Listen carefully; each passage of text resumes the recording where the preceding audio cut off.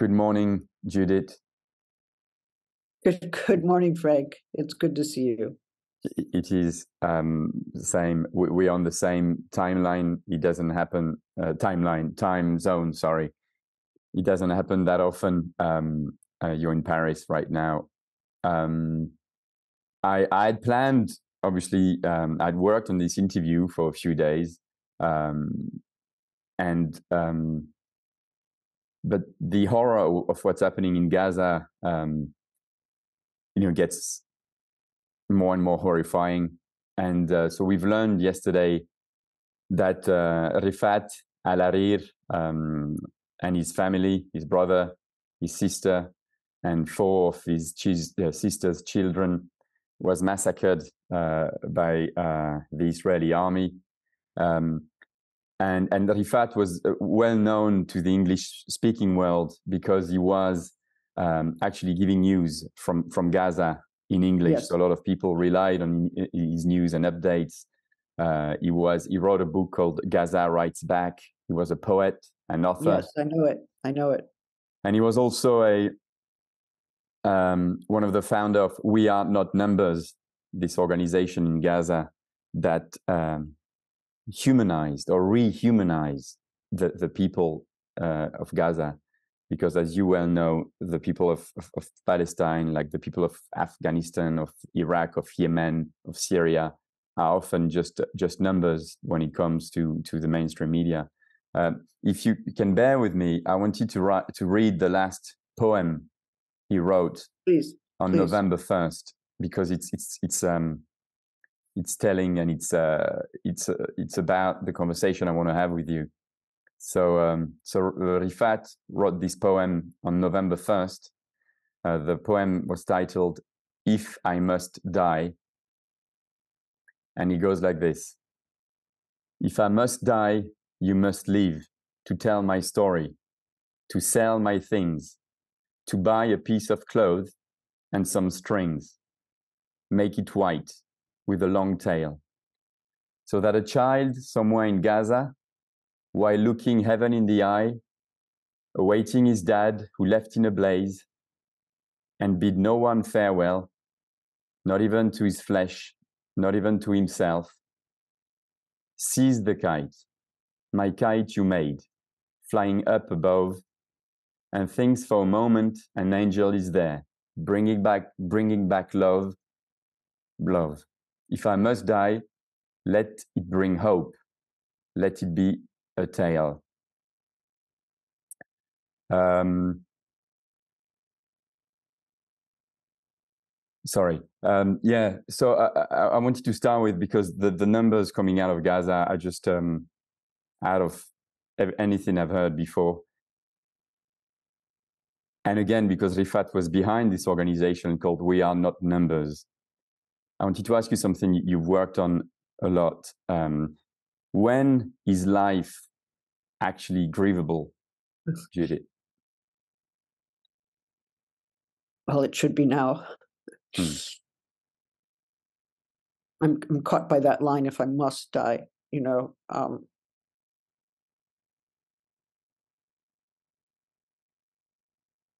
I mean, he should not have had to die it, there was no necessity for him to die.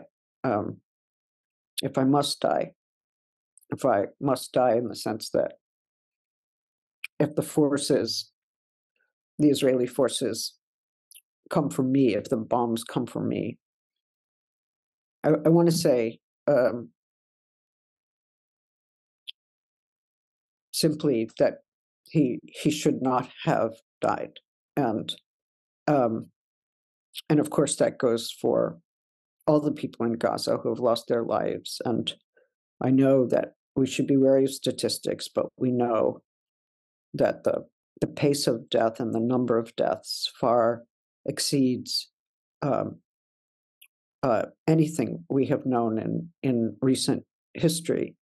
Um, and uh, to answer your question more directly, um,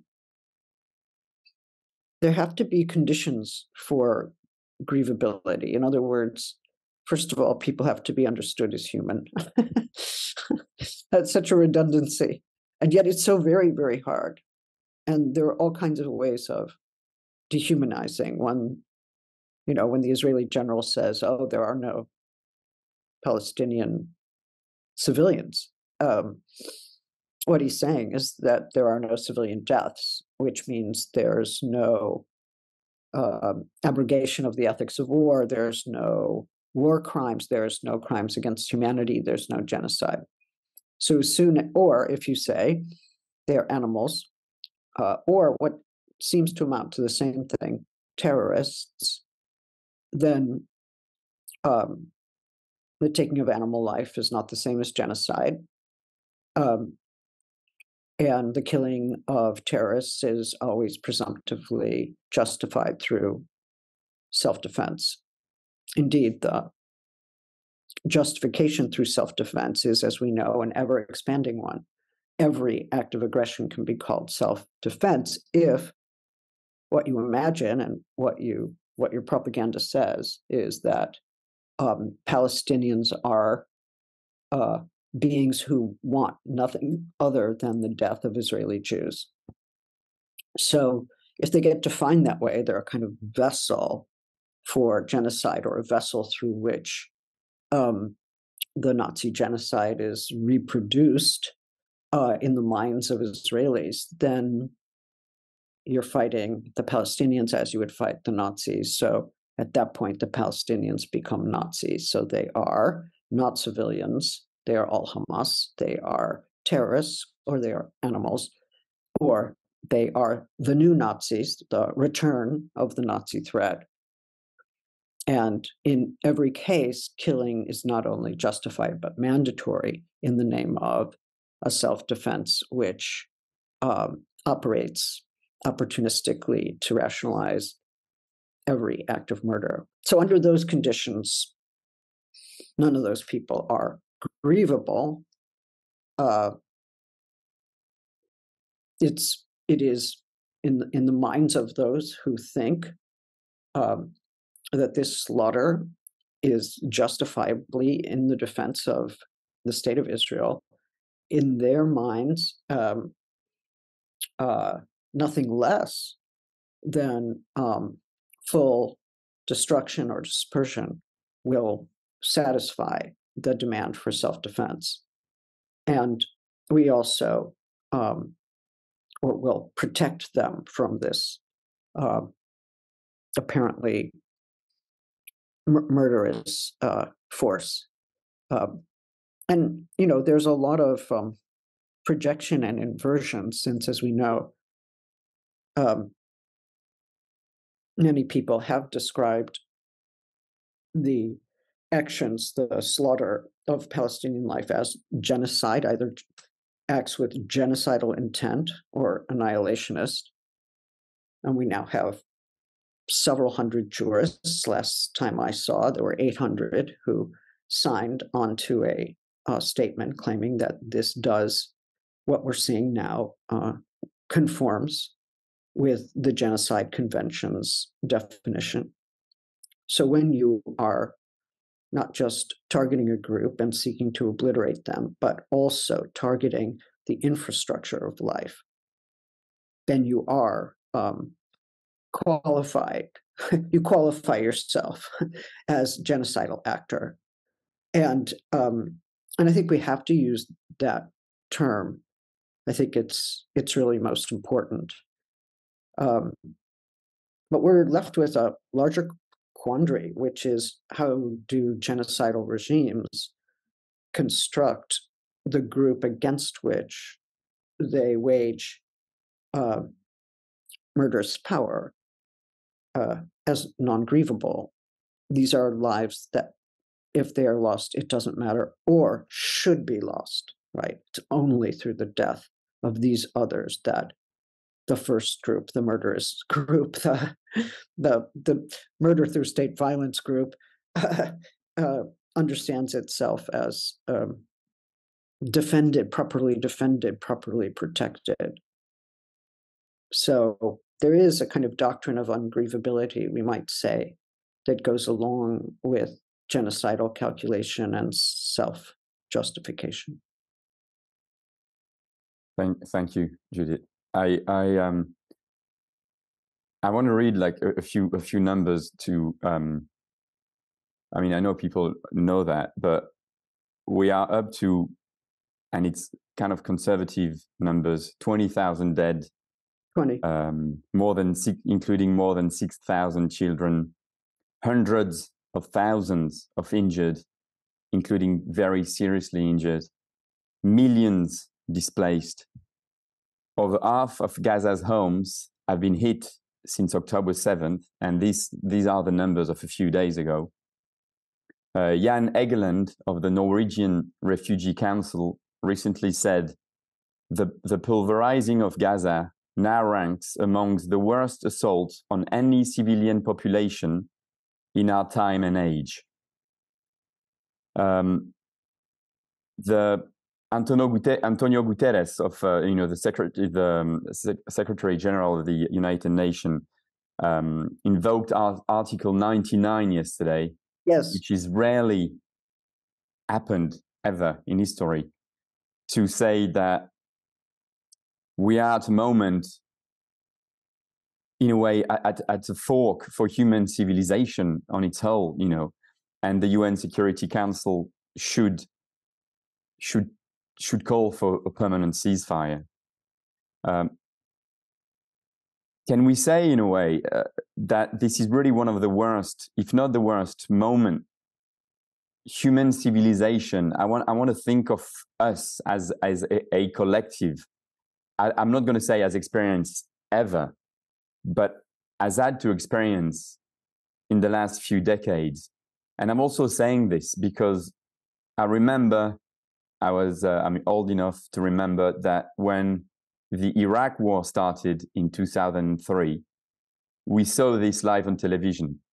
I remember sitting in front of the TV and the first US sort of missile going and, and George Bush saying like, that's it, we are at war.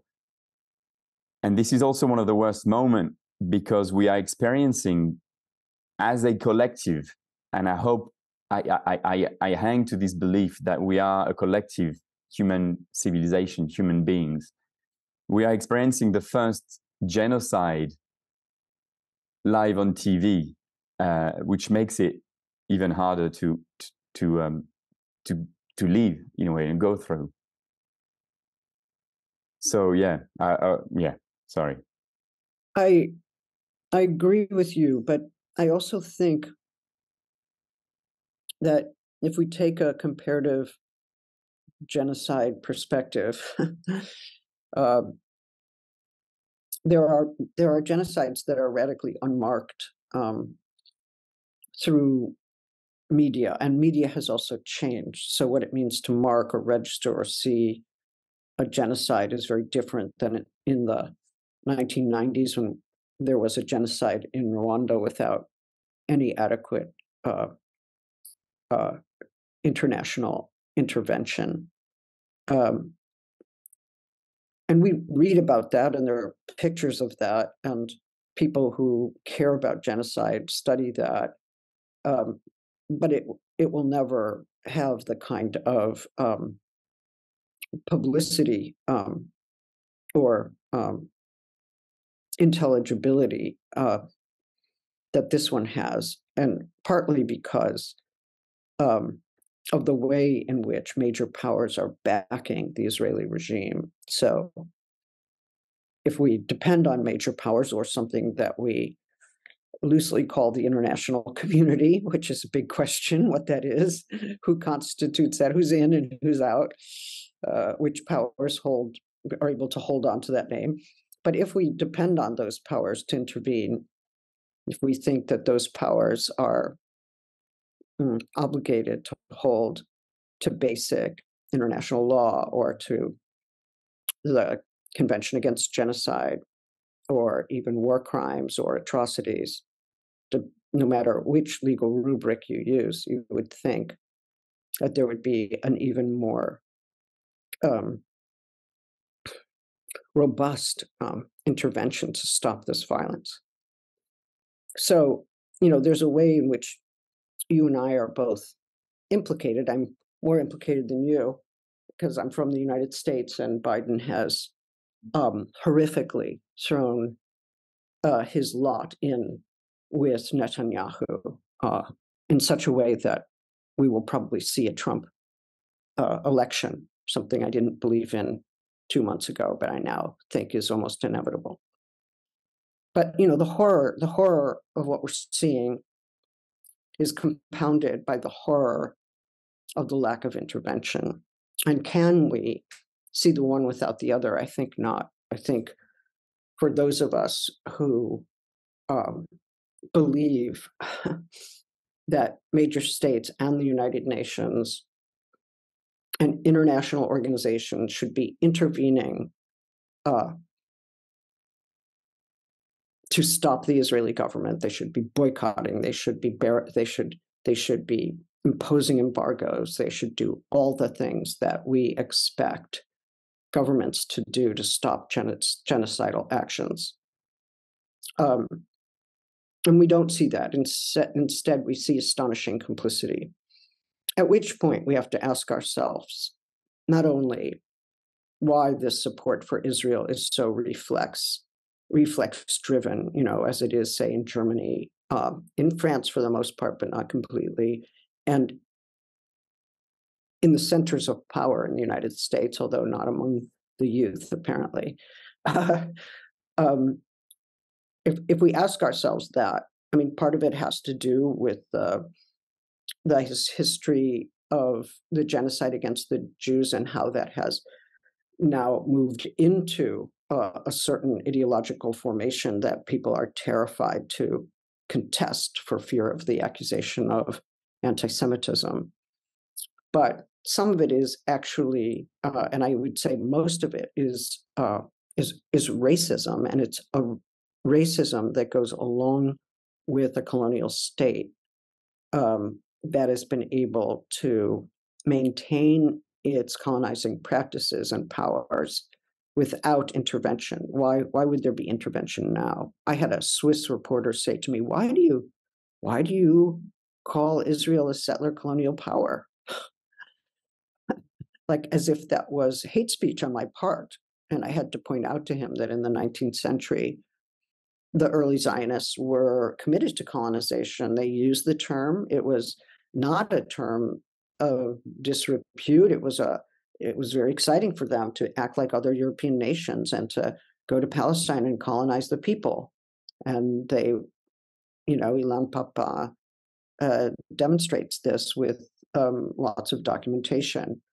But there's an enormous racism that's going on here, and and uh, Palestinian life is not um, considered valuable life, and it's also uh, infused with phantasms and uh, and there's a colonial imaginary with with violent consequences that takes hold. If we if if the United States buys the idea that Israel is a democracy, um, if it says, oh, it's the only democracy in the Middle East, and this state formation is based on displacement, destruction, uh, dispossession, land theft, uh, unjust imprisonment, indefinite detention, constant bombardment, siege, uh, uh, checkpoints that are centers of surveillance and harassment, um, settler violence. What what qualifies this as a democracy? This this this is not a democracy. It is a colonial, a violent colonial state that has been able to pass itself off as the only democracy, and it denies democratic rights to the millions of people who are either in the West Bank or in Gaza still, or uh, in forced exile who do have proper rights of return. So, if it's based on a systematic denial of rights, basic rights that we associate with democracy, in what sense is this a democracy? If it is, then democracy is a lie, and we should all be you know, very skeptical of democracies. But if we're not, if we if we wish for radical democracy, as I do, then we hold it accountable. But we're seeing the failure of states to do this, and we're also seeing um, the rationalization of a of an unfathomable slaughter um, through a through a failure of courage and a failure of criticism. Uh, something that, and again, I, I, obviously, I'm, not in, in Gaza, I'm not Palestinian, but but some, you, you know, when there's war, when there's a massacre, we focus, or the media focuses on numbers, the numbers of people killed, the numbers of people injured. But there are other elements that should we that we should take into consideration.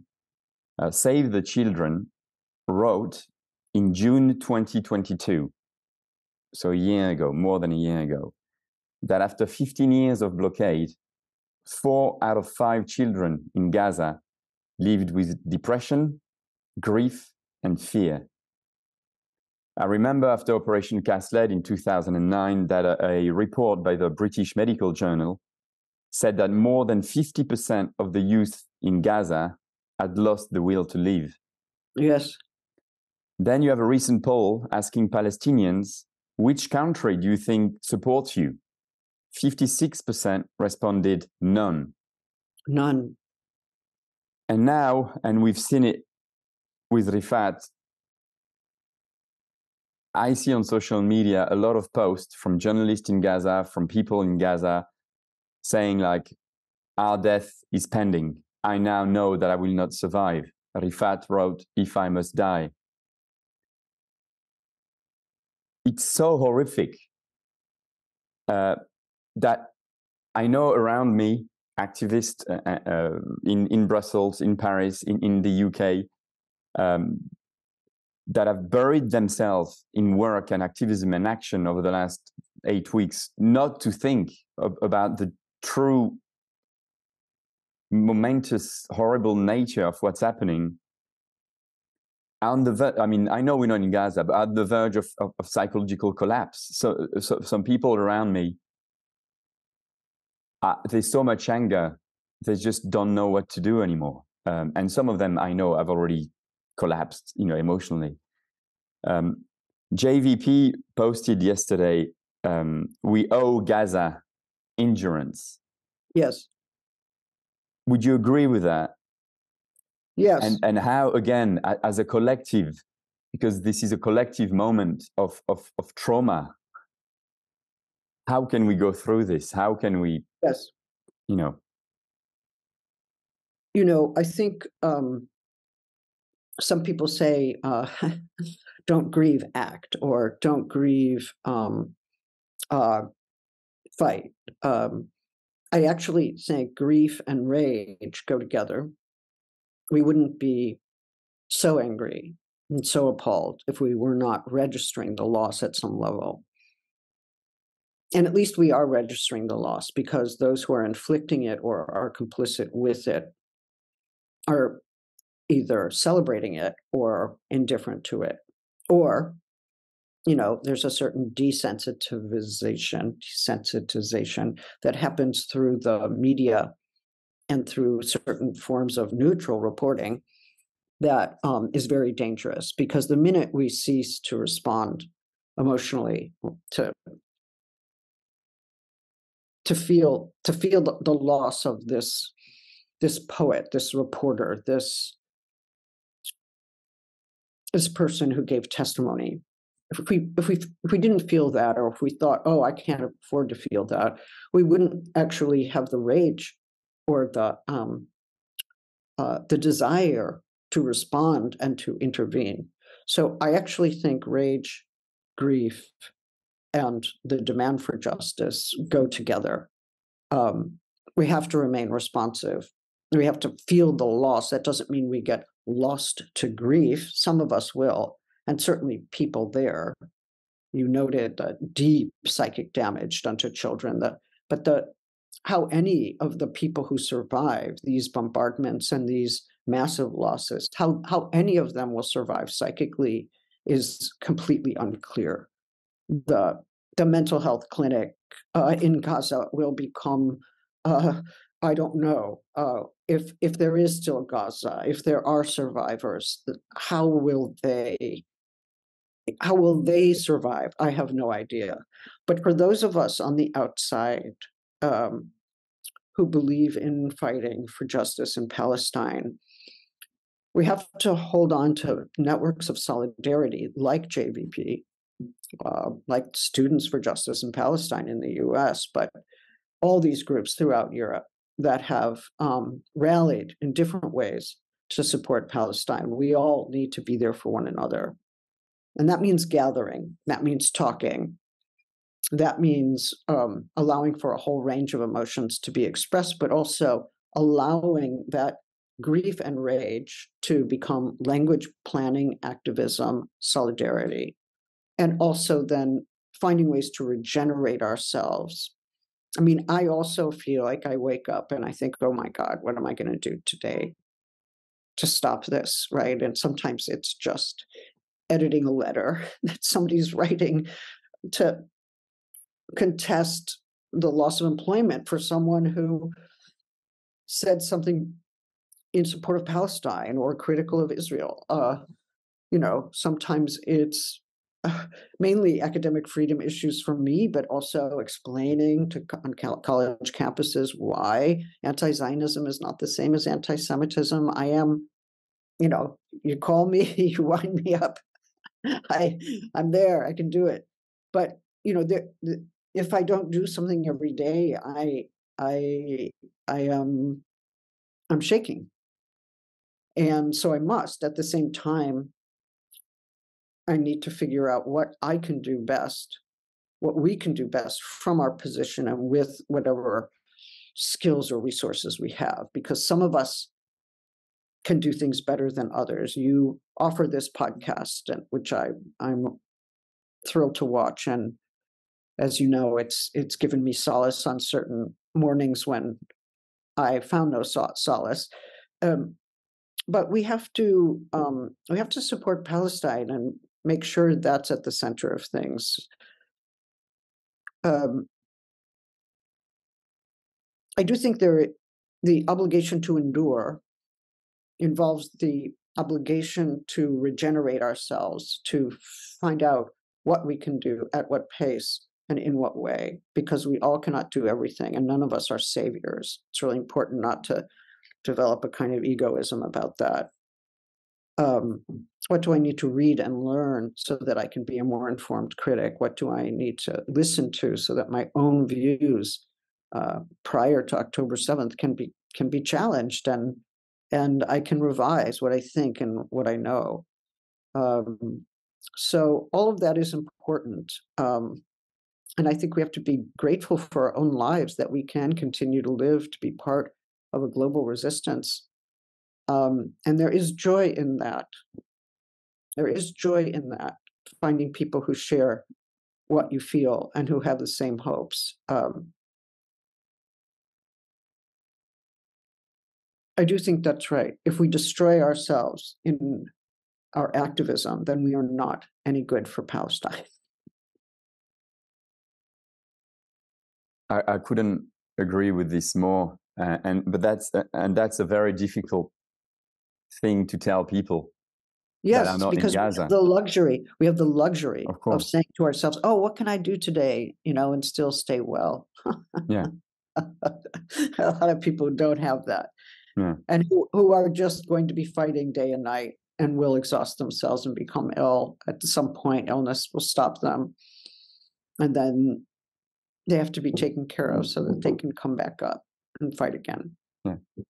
We need networks of care maybe we yeah, should yeah. remind ourselves of the networks of care that were produced under the pandemic the networks of care that have always been there during the AIDS the, the AIDS uh, crisis in the Euro Atlantic world and elsewhere. Um, we we need to remember that we we have to be part of networks of interdependency and offer um, offer uh, offer our own um, powers of listening and care so that others can regenerate and and act again. Yeah, th- this is really crucial. Um, and what I've been, what I've, what I've, what I have been trying to hold on to since uh, October seventh, but obviously many years before, you know, uh, is um, is the beauty around around us, because that you know the world is full of horrible things and we right now is an example of one of the most horrible things we can experience as, as a human being but it's also uh, full of beauty and, and the fact that 800000 people demonstrated in london the fact that jewish voices yes. for peace blocks congress uh, the fact that there's direct actions all, all, all over the world the fact that and i know it uh, in my personal like you know life and uh, since October 7th, I know people that have stopped everything, everything to to work on helping this massacre to to end.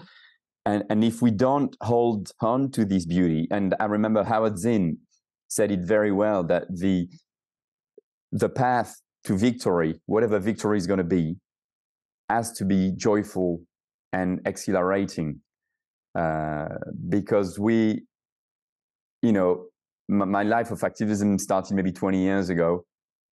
And in the last 20 years, I've made friends that I consider like brothers and sisters. And it didn't happen before the, the, the praxis of activism in a way. So this is something we need to hold on to. Otherwise, we do crumble. And we're not any good if we crumble. We're not any good for the Palestinian people, for, for anyone. Right. right. Uh,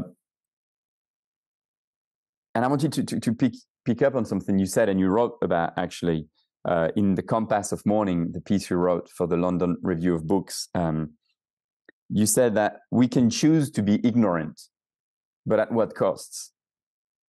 Um, for those whose moral position is restricted to condemnation alone, understanding the situation is not the goal.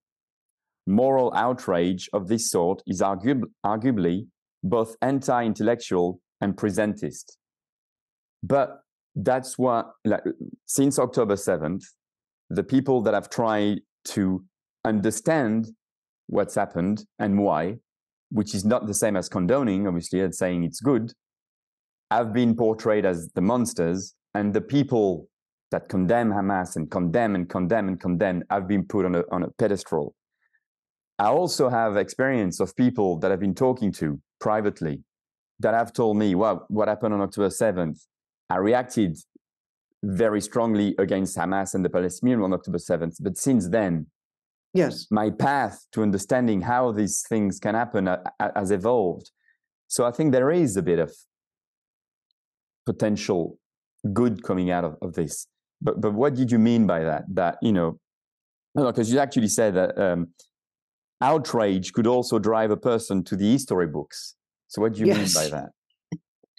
Uh, well, look, um, let me let me say just a, a, few things because you started with this question of joy and celebration, and you know, um, Palestinian friends of mine talked about going to Washington and marching and chanting and um, and finding themselves in the arms of strangers, you know, like other Palestinians they did not know who were undergoing unbearable um, shock and outrage and grief and you know just holding each other and um, that's a beautiful thing that kind of solidarity uh, people there for one another in a, in a very basic way um, and and and i also then heard stories about coming back from these marches and feeling like okay i can i can start again you know i'm not alone i'm not going to go mad i'm not alone with my psyche i'm part of a community I'm working with and for others.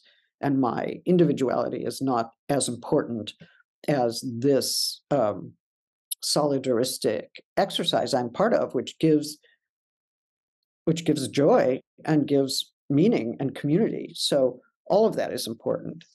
Um, and and I think that Jewish Voice for Peace has been kind of brilliant as, and I, I have been part of Jewish Voice for Peace, and I serve on the advisory board for academic freedom, and I do fundraising for them. And I don't know, I've been with them almost since the beginning. I guess I joined a couple years after the inception, but you know the um, the footage of um, taking over Grand Central Station in New York or the Statue of Liberty in New York or blocking the congressional offices or stopping traffic on the Manhattan Bridge in, in Manhattan or the Oakland uh, Federal Building or the ports of Oakland. You know, all of these are just so exciting. You know, you see, you know, this is a, a media moment, but it's also a moment of enormous exhilaration for people um, that they can do something, that they can voice an opposition, that they can make it more difficult for the Biden administration,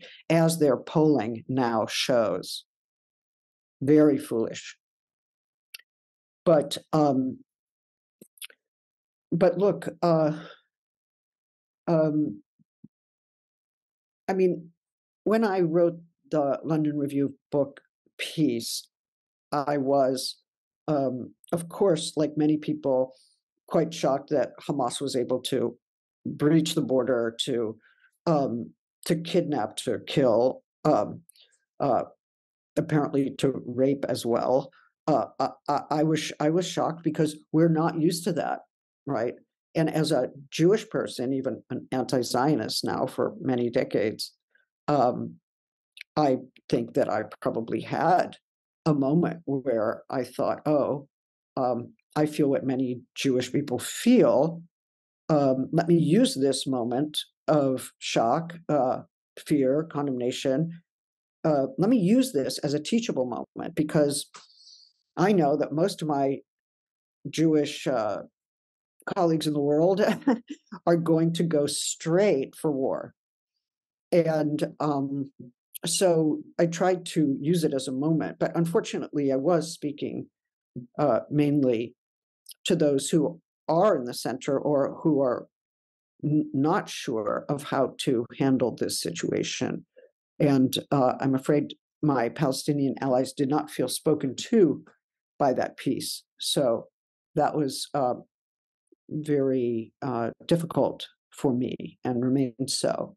But I am seeking to make reparations in, in various ways. Um, that said, um, I understand what it is to condemn. I can condemn. I did condemn. I also want to stand back for myself and say, um, it's not enough to condemn. We actually, I mean, it's not enough to start with October 7th. We need to understand the last 75 years of uh, settler colonial domination of Palestinian life. Um, this violence does not come from nowhere. Hamas was formed in the aftermath of Oslo. Oslo was, for almost every Palestinian I know, a massive betrayal. Promises were made that were broken at the moment they were made. Um, promises of self governance were not kept. Uh, more land theft uh, took place. More intense militarization took place. So Hamas historically comes into being at a certain point. Um, it is important to understand that because if we're imagining a future in which violence can cease, we need to understand the origins of violence so we can address those conditions and open up a different kind of future, right? What were the conditions that produced uh, an armed resistance to settler colonial power? What is the history of armed resistance such that we can te- we can say when and where movements of armed resistance actually agreed to give up their arms? Well, not until state violence ceases, not until decolonization is underway as a, a, a very serious process or complete.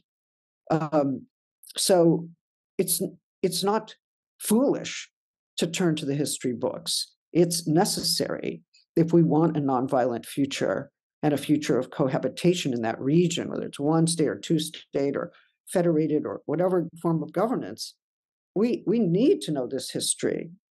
Um, it's not uh, exoneration to understand where Hamas comes from. It's the only way we will also come to understand the ongoing effects of Israeli state violence and be able to call for its end. And when it ends, and when Palestine is free, I'm going to turn around. Nobody's going to need violence. I mean, uh, there'll be joy, there'll be emancipation, there'll be there'll be freedom, right? That that that is what the Palestinian people uh, deserve life and freedom. And um, I, I, I think the will to ignorance is a, a very serious thing. Um, it keeps people in panicked, fearful, moral positions of condemnation, so that anything they hear is a sign, oh, that you're in favor of Hamas. And what I'm saying right now could be the basis of somebody else saying, oh, Butler's in favor of Hamas. Never been in favor of Hamas. I've never, you know, sorry, I know a lot of people say, oh, it's the name of Palestinian resistance now. Eh, not for me. No, that's not going to happen. Never did happen. You know, even when I said Hamas and Hezbollah part of the left, all I was trying to say, if the clip had continued, and this is what I did say, is that armed resistance movements do, like the Irish Republican Party Army, the Irish Republican Army, give up violent resistance under certain conditions. What kind of diplomatic possibilities are there? Nobody's asking that question. Anyway, sorry, I went off on a tangent. Um, I, I, mean, I'm, I'm nearly finished with the questions as well. You, Okay. you, you mentioned ignorance, but I think it actually goes further than that. It's also cognitive dissonance, right? Because some people's people have learned they need to unlearn things, and it's very hard because it's also a question of privilege, right? And and I'm a strong believer that uh, and I think this is something from Arundhati Roy. She said, like, once you've seen it, you can't unsee it. Yes, And I really do think that a lot of people see it, but but but unseeing it will require so much work and so much changing everything they believed in and and and giving away some of the privileges that they'd rather say I'm ignorant. But it's I, I don't buy it. I think they know. I, I mean people know. Anyone with a brain right now knows what's happening in, in, in Palestine, but you have to um, you know people just want to hold to their beliefs some some for political gains some for money some for um but anyway uh, you can comment on this if you want but my last question uh, is going to be um I, i've been involved with the, the palestine israeli palestine question for about 15 20 years now uh, and i've lived through moments like operation cast lead like you know i can't remember the names of the operations where I remember as activists, we kept telling ourselves that this is going to change everything. I remember after Operation Cast Lead, after the Free Gaza flotilla, when Israeli commandos boarded the Mavi Marmara and executed nine civilians, including a Turkish American civilian. We kept saying, this is going to change everything, Israel can't go back. You know, this is diplomatically, it's over for them. You know, they've shot themselves in the foot. Ilan Pappé said a few days ago in an interview, this is the beginning of the end for Israel because they need the, you know, we are this small country surrounded by enemies and, you know, we're going to die if we don't do what we do. But, he, but then it continued, you know, after Operation Cast Lead, another operation, Israel went back to like, you know, getting the red carpet treatment uh, in, uh, in France, etc how do we make sure that actually this moment does change everything um, well, I don't know whether this moment will change everything. Um, I do think there is more dissensus on the state of Israel than there was before. That sometimes it's privately confessed, but other times it's publicly manifest. And I think uh, international, a global global opinion will shift. Whether governments respond to that or not is another question. They have their own military contracts. They have their own reasons for keeping Israel afloat and defending it, no matter what atrocities it commits. But I, um, I don't. I, I think there, it is a crisis moment. Um, and crises do produce potentials of certain kinds. The um, uh, intensification of dissensus of more people breaking with the consensus on Israel, criticizing it uh, not just for its actions, but for its longstanding practices and for the structural vi- violence that is built into the state itself.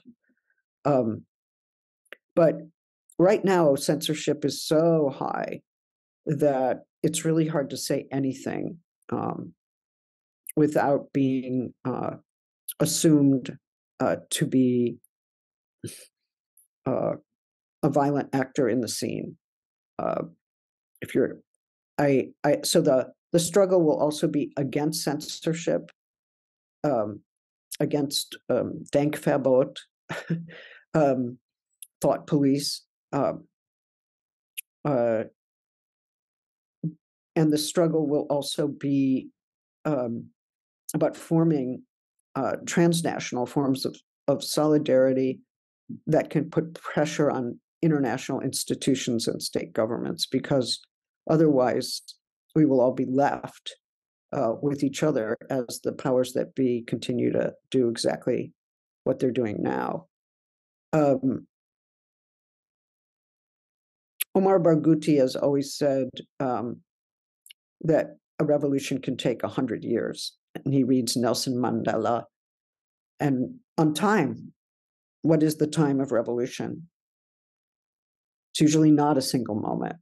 It's not like the immediate aftermath of a major crisis.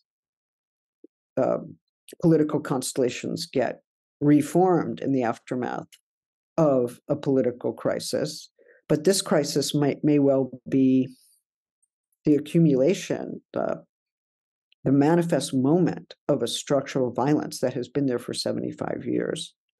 And if that's the case, then nothing less than a systemic analysis and critique of, of this form of state violence uh, will suffice. Um, reformist um, options are are not um, are not useful be, if if state violence is being reproduced in a daily way, not just in Gaza but in the West Bank and um, and through the and I'm thinking here about the dispossession of, of several Palestinian uh, people from their from their villages um, as settler violence increases and is encouraged by the Israeli state. So, what's the hope I have? Well, the hope I have is that all the censorship that's going on shows that there's something uncontainable. Mm. They're trying to contain something they fear is out of control and uncontainable.